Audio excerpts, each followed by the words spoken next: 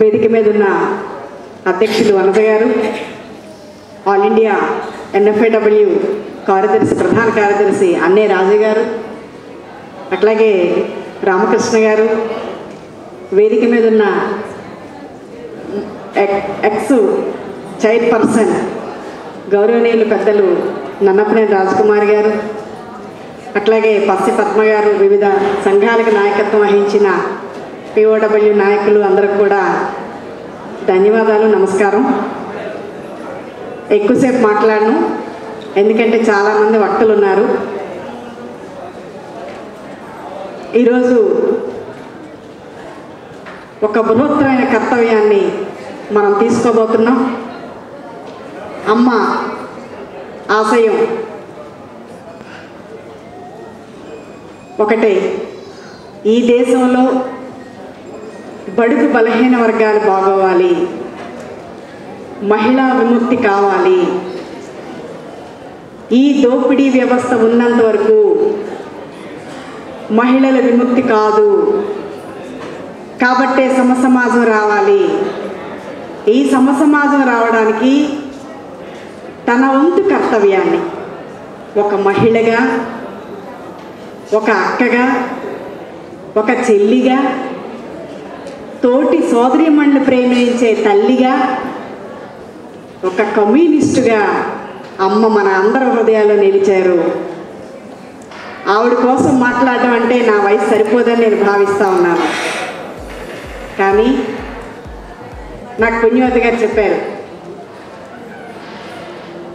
చల్లపల్లి జమీందారులకు వ్యతిరేకంగా పోరాటం చేసిన దాంట్లో మేము చాలా చిన్నవాళ్ళం.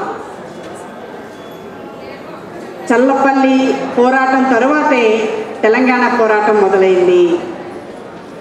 కృష్ణా జిల్లాలో ఏర్పడిన ఆ విత్తనం నైజాం సర్కార్కి వ్యతిరేకంగా పోరాటం చేసినంత వరకు కూడా ఎదిగింది. దానికి నిజాయితీ నిబద్ధత కమ్యూనిస్టు యొక్క విలువలతోనే కూడిన పోరాటాన్ని అమ్మ నడిపించారు. అనేక మంది ఇక్కడ చెప్పారు పెద్దలు విశాలాంధ్ర మేనేజర్ గారు. రాజేశ్వరరావు గారు కానీ బాపన్నయ్య గారు కానీ వీళ్ళంతా కూడా. అంటే ఆ రోజుల్లో ఈరోజు ఉద్యమాలు చేయడం వేరు.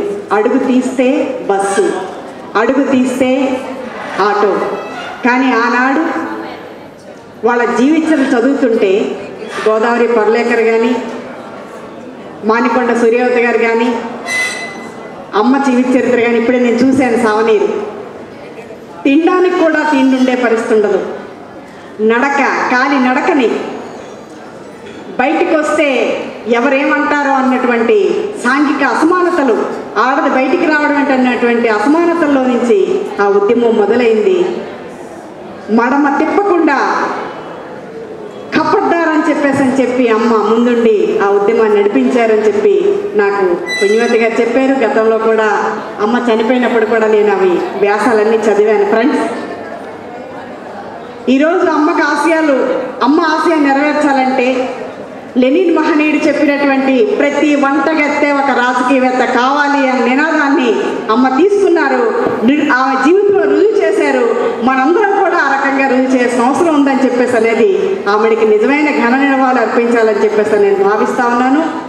అట్లాగే ఈరోజు చా చాలామంది మాట్లాడారు. మహిళల మీద జరిగే దాడులు నేరాలు అకృత్యాలు ఎందుకు చైనాలో జరగవు? ఎందుకు క్యూబాలో జరగవు? అంటే స్త్రీల శరీరాలతో వ్యాపారాలు చేసుకునే ధోరణి ఇక్కడ ఉంది. అందాల పోటీలు ఎవరి కోసం నిర్వహిస్తున్నారు? బడాబాబులు కార్పొరేట్ సంస్థలు వాళ్ళ పబ్బం గడుపుకోవడం కోసం అందాల పోటీలు నిర్వహిస్తూ ఉన్నారు. ఈరోజు స్త్రీల యొక్క శక్తి సామర్థ్యాన్ని స్త్రీ ఎప్పుడు కూడా రెండో తరగతి పౌరురాలే. మొదటి పౌరురాలు కాదు ద్వితీయ శ్రేణి పౌరురాలే. ఆడది తక్కువ మగవాడు ఎక్కువ అనే మన భావజాలం ఈరోజు సొసైటీలో ఉంది. ఈ పీడియాట్రిక్ సొసైటీ ఫ్యూడల్ భావాలున్న సొసైటీలో ఈ సమాజం ఉన్నంత వరకు కూడా స్త్రీల మీద నేరాలు దాడులు విపరీతంగా జరుగుతాయి. దానికి తోడు ఇది బీజేపీ గవర్నమెంట్. బీజేపీ గవర్నమెంట్ మత్తత్వ పార్టీ మహిళా వ్యతిరేక పార్టీ. చెప్పారు చాలా విషయాలు నేను ఆ జోలికి పోను. మనుధర్మ శాస్త్రం ఆడవాళ్ళు బయటికి వెళ్ళడం వల్లే నేరాలు జరుగుతున్నాయని చెప్పేసి చెప్తున్నారు. చిన్నప్పుడు తల్లి పెద్ద అయినాక భర్త చనిపోయిన తర్వాత కొడుకు దగ్గర ఉండాలని చెప్పేసి అన్నట్టు సూక్తులు వెళ్ళవేస్తున్నారు మరి ఈరోజు ప్రపంచంలో కానీ దేశంలో కానీ మహిళలు బయటకు వస్తే సమాజం మరగడు ఉంటుందా? ఆరో రోజు స్వంత పోరాటంలో మహిళలు పాల్గొకపోతే భారతదేశ స్వంతం వచ్చేదా? చల్లపల్లి జమీందారీ యుద్ధంలో అమ్మ అమ్మాళ్ళు పాల్గొకపోతే ఆ రోజు జరిగేదా బాలచంద్రాన్ని కాళ్ళు మొక్కుతా అని చెప్పేసి అని చెప్పి తెలంగాణ నైజాం వ్యతిరేకంగా పోరాటం చేసిన వాటిలో మన నాయకులు లేకపోతే ఈరోజు మహిళలు లేకపోతే ఆ పోరాటం మనుగడయ్యేదా సాధ్యమయ్యేదా? ఈరోజు ఆధునిక మహిళ చరిత్రను పునర్లిఖిస్తుందని చెప్పేసి అని గురజాడ మహనీయుడు చెప్పిన అంశాన్ని ఖచ్చితంగా మహిళా లోకం అమలు చేస్తా ఉన్నారు. దేశం అంటే మట్టి కాదే దేశం అంటే మనుషులోయ్. తిండి కలిగితే కండ కలదే కండ కలవాడే మనుషులోయ్. సొంత లాభం కొంత అనుకుని పొరుగు వాడికి సాయపడవే అని చెప్పేసి మహనీయుడు చెప్పాడు. అమ్మ అది ఆశించారు. కనీసం తన పెళ్ళి కూడా చేసుకోకుండా బ్రాహ్మణ తల్లిగానే ఉండి ఆవిడ సాయశక్తిలా కూడా ఈ సమాజం కోసం నడుము కట్టుకొని కంకణం కట్టుకొని ఆ రోజు ఈ ఉద్యమాన్ని నడిపించిన ఘనత అమ్మకి దక్కుతుందని చెప్పేసి నేను భావిస్తా ఉన్నాను. కాబట్టి ఆమె ఏ ఆశయాల కోసం అయితే పనిచేశారో ఏ భావజాలం కోసం పనిచేశారో ఈరోజు ఇంటి పని చేసే దాని మీద పెద్ద పోరాటం అనేది చేయాల్సిన అవసరం ఉంది ప్రతి మహిళలకు కూడా.